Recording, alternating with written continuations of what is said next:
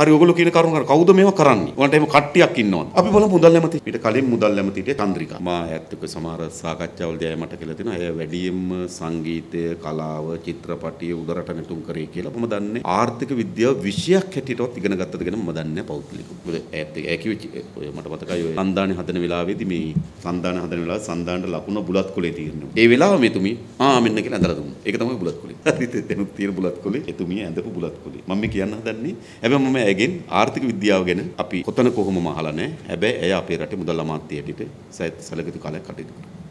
ඊළඟ මුදල් අමාත්‍යවර බවට පත් වුණා කවුද මහින්ද රාජපක්ෂ ඊළඟ මුදල් අමාත්‍යවරයා බවට පත් වුණා රවි කරුණානායක. දැන් මුදල් අමාත්‍යවරයාට කටයුතු කරනවා මංගල සමරවීර ඔකනේ දැන් අපිට මේ අපිට තියෙන දශක 3කට ආසන්න කාලයක මුදල් අමාත්‍යවරු බැලුවා. මම කියන මේ හතර දෙනාත් එක්ක බලපුවාම අපි උපකල්පන අපේ හඳුන්නේ සෝදරේ ඒ හතර දෙනාට වඩා මොන වගේද අඩු කියලා මට කියන්න. මේකයි කියන්නේ. ආර්ථික විද්‍යාව පිළිබඳ දැනුමින් මහජනයාගේ මුදල් හොරකම් නාස්ති නොකර කටයුතු කිරීම වැදගත් නැද්ද? ඒ ශේත්‍රයන් පිළිබඳ අවබෝධයක් නැද්ද? මා හිතනවා මෙතෙක් හිටපු හැම මං කියන්නේ මේ හඳුන් මුදල් ඇමති කියලා නේ මම කියන්න හදන්නේ හරිද කවුද කියලා අපෙන් අහන නිසා මම මේ කියන්නේ හරිද අපිට ඉතින් මම කියන ඔය ඔක්කොටම වඩා හොඳ අය අපිට නිර්මාණය කරන්න පුළුවන් අතත බගෙන. ඔය හැම විෂයක් පිළිබඳව මා කියන්නේ පෞද්ගලික මා හෝ අපි කවුරුවත් හැම විෂයක් පිළිබඳව මාර පොරවල් කියලා. එහෙම නෙමෙයි. ඒ විෂයට ඉතාමත් හොඳින් ගැලපෙන සහ ඒකත් එක්ක බද්ධ වුණු තව විශාල කවයක් එක තමයි පාලනය කරන්නේ. ඒ කියන්නේ රටක් ගොඩනගනවා කියලා කියන්නේ මේ ඉන්ද්‍රජාලික ක්‍රියාවක් නෙමෙයි. මැජික් කාරයෙක් ඇවිල්ලා මේ පාර අරවම වුණ මේවම වුණ එන්නේ දෙක්.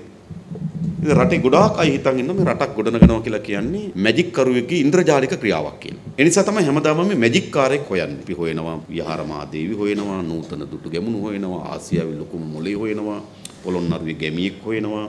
එහෙම නැත්නම් ජනාධිපතිගේ පුතෙක් හොයනවා, ජනාධිපතිගේ මල්ලි කෙනෙක් හොයනවා. එයි මේ සමාජ මතයක් ගොඩනගලා තිබෙනවා.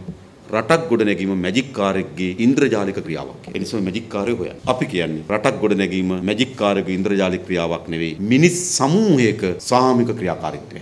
ලෝකේ රටේ ඇති වී තිබෙන ලෝකේ පුරාවටම ඕනෑම රටක සිදු වී තිබෙන වෙනස්කම් සියල්ල ඇවිල්ලා මිනිස් සමූහයක සාමික ක්‍රියාකාරීත්වය. මා මේ මැතිවරණට ඉල්ලන්නේ සමූහයක සාමික ක්‍රියාකාරීත්වයේ කොටස්කරුවෙක් ලෙස. breaking.lk